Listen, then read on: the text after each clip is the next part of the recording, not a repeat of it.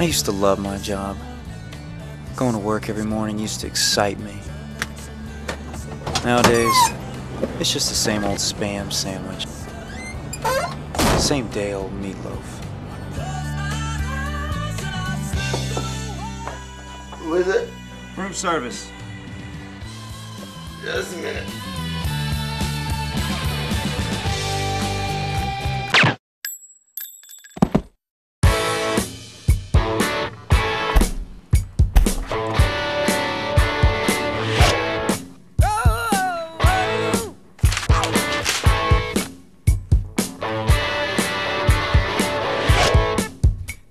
So what if you smoke some cat from Greenpeace? All I'm saying is your uncle's gone. He's a little, you know... I'm Blood. You're the Strunz married his daughter.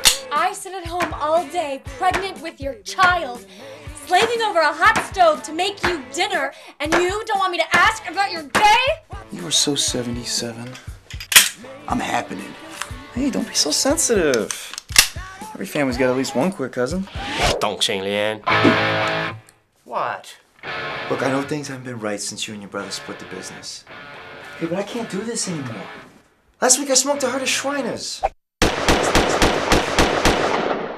Shriners, Jake? Who in the hell kills Shriners? They're very big with the unions. Unions?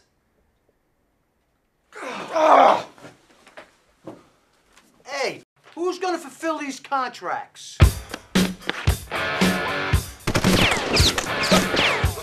I could have done anything I wanted with my life.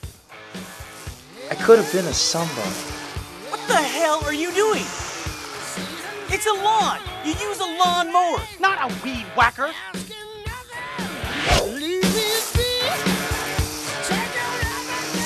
I could have been good.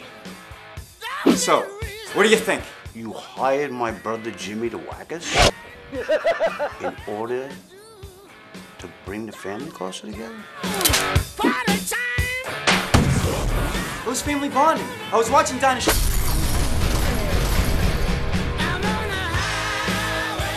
You're an idiot.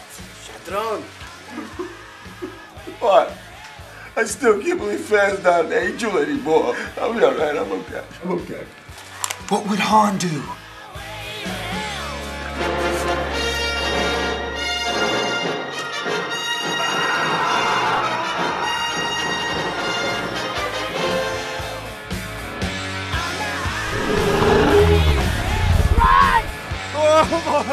You're a Wookiee. No. I'm more like Darth Vader.